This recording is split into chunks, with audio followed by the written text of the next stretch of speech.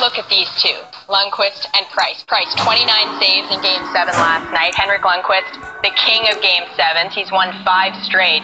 This matchup is going to be epic. Yeah, no, it really will be. And it's also a rematch of the gold medal game Yeah. from Sochi uh, between Canada and Sweden. But this tees up the fun question. You let the great debate this begin this morning here on SN Gotta Ask.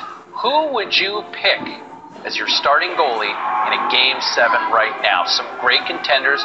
Two of them you just mentioned, Carey Yeah. Price, Henrik Lundqvist. How about the guy between the pipes with the LA Kings right about now? Yeah, Jonathan Quick's looking pretty good. That might be my pick. Uh, give us your thoughts. Use the hashtag SN Gotta Ask.